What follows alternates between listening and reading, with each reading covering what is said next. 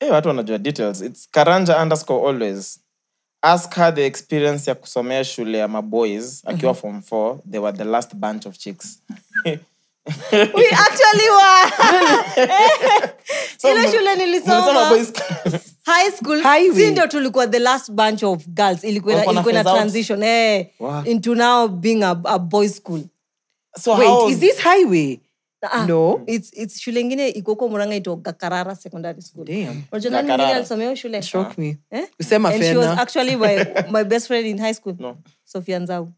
Oh, no That's fire. that's bananas. Yeah. But inaitwa gakarara. Eh,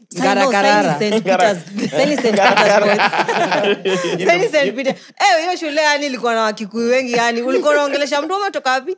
Mi na mlanga huku ni wapi nililetwa? neno mlanga. Huku ni wapi nililetwa akiwa hiyo jina ina ukiangusha kitu. Yani ukisikia wewe umetoka nairobi yani sijui wanapicha wana sijui umetoka wapi. Yani wanaona ni kama yani wewe yani una live life. Na uko, uko tu mwiki uko weni wa mwiki tu umepelekwa huko kandara. Weni wa mini wa mlanga. Intro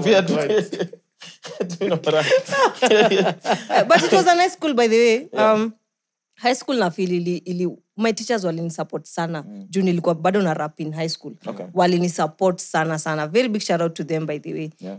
ukatoka tu na di yako vizuri toka na di by the way so ukiwa head uki- ukiwa head girl Head girl, hakuna option mob, ulikuwa mwisho Eh, Now makes sense. eh. Nilikuwa head girl sijui to, to, to, to 30 girls ama 50 Mm. but it was a nice school now when you watch it you'll understand